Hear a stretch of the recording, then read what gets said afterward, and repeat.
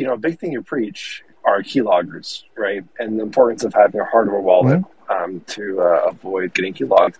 So, uh, funny story for you. Uh, so I got hacked um, okay. a couple months back. It's one of the top tweets on my page. Um, I had a stream with RH Max to describe what happened. But yeah, it was about mm-hmm. Um, a 65 grand loss. Um, oh. Yeah, yeah. Uh, on my like hot MetaMask, which had like hex stakes and stuff. So I think since I've gone on and kind of told my story in the hex community, um, I always kind of bring you up and describe, you know, um, the importance of keyloggers and hardware wallets.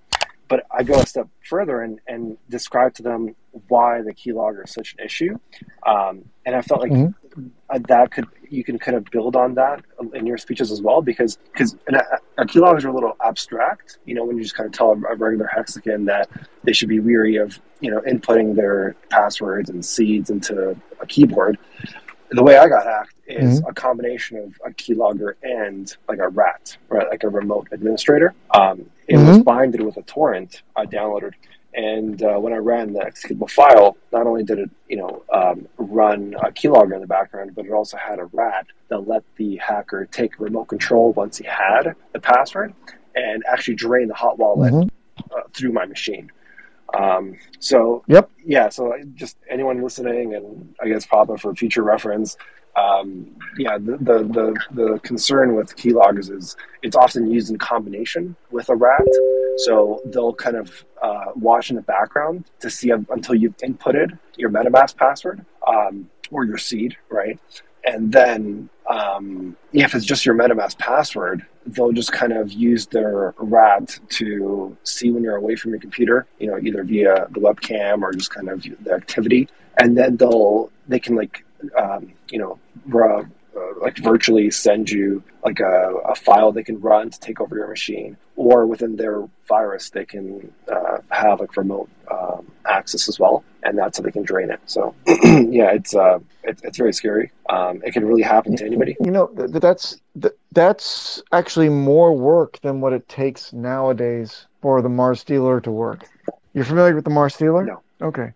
So, so in about a year and a half ago, uh, a little piece of code came on the scene, nice nefarious little wormy, uh, called the Mars Stealer. And what happens is through an infected site, um, you get the Mars Stealer infected on your machine, and it can actually run. It can it, it can infect sites uh, uh, by the hundreds in one in one run for free now. It used to be about $130 on the dark web, but now it's free in the wild.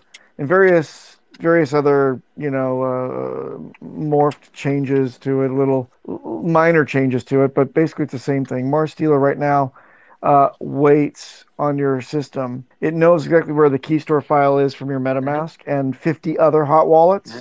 Because it's pretty predictable. They're always named the same thing for every installation of every instance wherever you are in the world. Um, and then it waits for you to input your password. Your password just happens to be the password to decrypt the file on which your seeds are stored locally. And what it does is it collects those two pieces of information and then it phones home. It doesn't even do any yeah. other key logging. It only waits for your password for the soft wallet. Then it connects them up, covers its tracks, away it goes, and it owns your it owns your goodie bag. That's it. You know, I felt like one thing that could have prevented my hack, and, and maybe it, it could apply in the scenario you just described, is two-factor authentication. Um, I felt like if I if MetaMask, you know, had an input of multi like MFA, it could have prevented it. Do you think two factor could have could have avoided that situation? Um, yeah, but that but okay. So MetaMask already uh, faces well. MetaMask has become become arguably complacent as as far uh, also the the other soft wallets, right? They almost always generate a 12 word seed. They almost always have a seed store file local on machine. They almost all implement the same type of encryption. They almost all are decryptable through the password. And then the idea is that uh, you're talking about uh, an island unto itself that won't work compatibility and and patches and changes that will play nicely with your browser and then your hardware wallet manufacturer. They're actually one of the best, um, but they're still shit. So what you're asking for is for another third party to get get to get engaged in terms of like what and uh, a third party authentication like like what Google Authenticator or Authy yeah. or something like that, or a reputable one, yeah, would be good. But your hardware wallet already does that. Your hardware wallet can actually already accomplish all that 2FA if you've got a ledger. Now ledgers kind of fall from fallen from grace, but effectively the buttons you're pushing already conquer that that that that, that hill, right? So I wouldn't I wouldn't need any 2FA if I've got a hardware wallet. Yeah, just in my case, a legacy, you know, hot wallet got into hacks when I you know, didn't understand the importance of one, so right. I'm stuck. What we recommend, well, what we recommend, and if you're still sitting there with your, well, it, it, have, has everything been drained and have all your stakes been unstaked and taken away, or what's the status? Uh, yeah, I mean, um, I worked with somebody in the Hex security group to confirm there was no yep. uh, flash bots on it. Okay, but yeah, uh, that particular wallet, uh, they yeah they drained everything liquid. They didn't get to the stakes, but that particular wallet didn't have much stakes. Uh, I've t- I've taken the stakes since. I have a hardware wallet. It's okay. just that at that time I was moving funds around, and just for convenience yeah. sake, you know, kept the right. wallet. So, so my message. Well, I mean, yeah, just to finish off and, and, hand off the mic, sure. my message to the Hexicans, the Pulsicans is, you know, take it from someone who's very like computer computer literate, um, works for a tech company, uh, you know, has 2FA on everything else, has two Trezors, and still, um, you know, there's blind spots. And uh, you may try to value, you know, the accessibility to hot wallet in some cases, but it's always best to be extra safe and just utilize hardware wallets exclusively to avoid any hacks. And the hacks come quickly, the draining is very, very quick. in my case, it was right in front of my eyes. Um, and uh, it was over oh. before I knew it. So be be careful. You don't want to go through with this. But also, if you're if you've been in crypto for I've been for seven years, it's it's also kind of you know bound to happen. So, um, but yeah, don't want to wish it on anyone. Yeah, I, I, I think that that's that's a it's an interesting interesting position. But I think by by you conveying your story to the people that are listening here and, and, and they pass it on, think you're doing them a tremendous service by explaining to them what happened and how serious it can be. I don't think that there's any shortage of these types of problems with the people are facing. Rinsing is happening. I mean, my inbox is chock full of people on a daily basis now saying, "I think I've been hacked." And turns out, of course, just like you, they were using a hardware. They weren't using a hardware wallet, or they were giving, uh, you know, allowances to bad front ends and yeah, I mean, I don't think it's inevitable. I think that with education and spreading the word, you can save hundreds of people from from your sad story. It should resonate and get people to take you know hardware wallets very seriously. So thank you for your your testimony. I'm very sorry that you you lost that much cabbage though. Yeah. Especially at the bottom, but uh, luckily Arch Max had me on. If there's any uh, hosts like Maddie that you come across and you guys do a security stream, I'd, I'd be more than happy to help on and. Uh, share my experience. Yeah, there's no other Hexicans really talking about it or sharing it. well, that's it could cool. be a lesson for others in our community. No, no, I I, lo- I love it. And, and if only we had a platform that was security centric and was easy to uh, to see everything in one single pane of glass. And I, will be talking about that in just a moment. Uh, I mean, as soon, as soon as things kick off.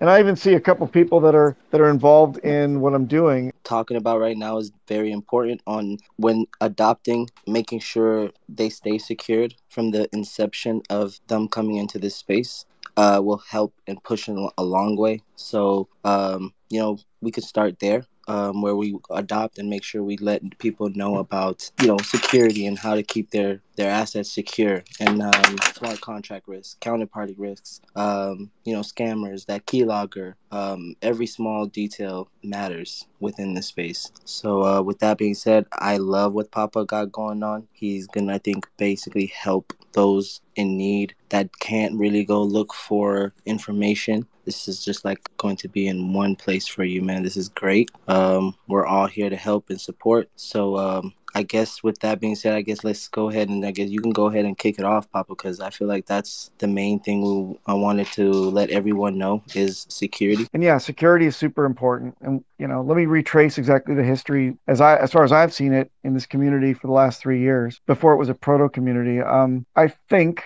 that it was really interesting when when when Richard Heart started talking about um, you know uh, let's kick this thing off with Hex. There was a, a bit of a miscommunication, and that was uh, you know, people asked him, uh, how, how can I onboard people? And he said, well, you know what? For most people, MetaMask is fine. And what he was speaking about was, you know, a, a, snapshot in time before there were a lot of these gnarly exploits like Mars Stealer, like we just talked about. Um, but still, the best practices at the time were to use a hardware wallet. So I was preaching this from the get go, and people were pointing at Richard saying, oh, he, he told us that uh, MetaMask is just fine. Well, what I foresaw was a time where if you're time locking your assets, that you wouldn't be able to move them from that seed. And that seed was generated from a, a web browser extension known as MetaMask, and that itself is only a 12 word seed.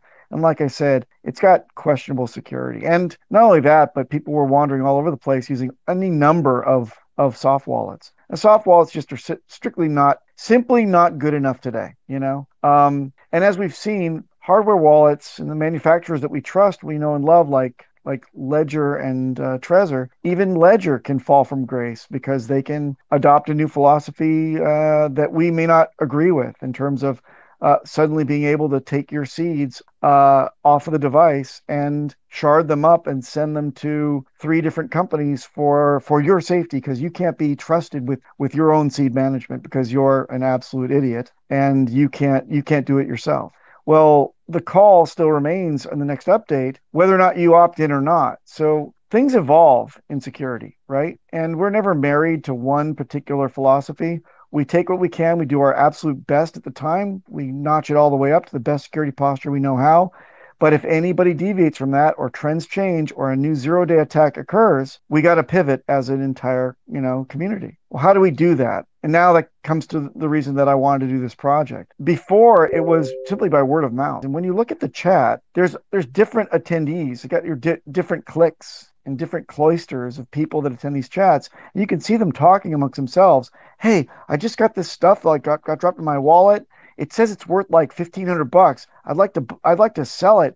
Can I, you know, interact with this token? And you see somebody else in the chat saying, totally random person saying, yeah, okay. So that's where they're getting their information. And that would that would be kind of reckless information. What about good information? Like, hey, did um did did uh, this so and so person that I trust in the community that knows the security sign off on this token? Did he say it's okay? And then again, you get a yeah, he did. Okay, and you watch another stream and they say, "Hey, did David did David Feeder or Crypto Coffee sa- sign off on this one?" Uh, yeah, I think so. Uh, yeah, yeah, he did. So you're getting multiple strands of information and multiple second, third parties reporting back in to give you advice as to what is good and bad security. So I said, enough is enough. It's time that we get the brightest and best security practitioners that we have to offer in this community and give them a platform on which to post their opinions.